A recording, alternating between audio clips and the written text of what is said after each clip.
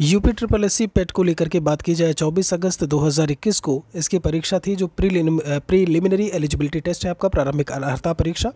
ऐसे में यहाँ पर न्यूज़ 18 के द्वारा, न्यूज़ 18 उत्तर प्रदेश के द्वारा जो है एक न्यूज़ ऐसे में डिस्प्ले की जा रही है।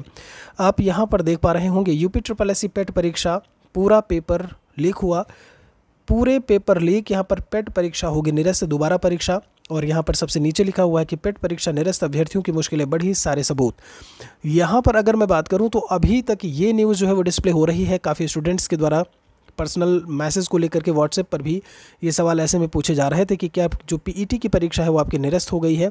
आपको मैं बता दूँ, अभी यूपी ट्रिपल एससी की जब जब हम बात करते हैं तो उसकी तरफ़ से कोई ऑफिशियल स्टेटमेंट ऐसे में नहीं आया है। लेकिन ये चीज़ आप यहाँ पर देख पा रहे होंगे, सारे के सारे सबूत जो है वो दिए जा रहे हैं कि पूरा का पूरा पेपर जो है वो आपका लीक हुआ है। मतलब परीक्षा शुरू होने से पहले ही सारा का सारा जो डेटा है एक तरीके का आपका क्वेश्चन पेपर का वो आपका लीक हो चुका था।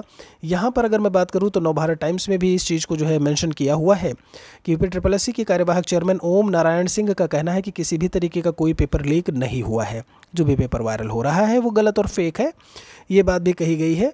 और आपको मैं बता दूँ, इन्होंने कहा यूपी ट्रिपल एस के जो सचिव महोदय आशुतोष ने बताया कि पेपर लीक की बात को जो है वो ऐसे में जो बात की जा रही है, वो गलत है। समय बताएगा कि क्या कुछ चीज़ें देखने को मिलती हैं। फ़िलहाल के लिए आप बहुत अच्छे से जानते हैं कि कई लोगों को गिरफ़्तार भी किया गया है। अभी ऑफिशियल कोई भी ऐसा न्यूज़, कोई ऐसी न्यूज़ नहीं है, मैं फिर से बता दे रहा हूँ कि यूपी ट्रिपल एस का पेपर जो है वो दोबारा होगा। आपका क्या कुछ कहना है, कमेंट सेक्शन में आप एक बार ज़रूर लिखें। मिलते हैं आपसे एक और वीडियो में। Thanks for watching.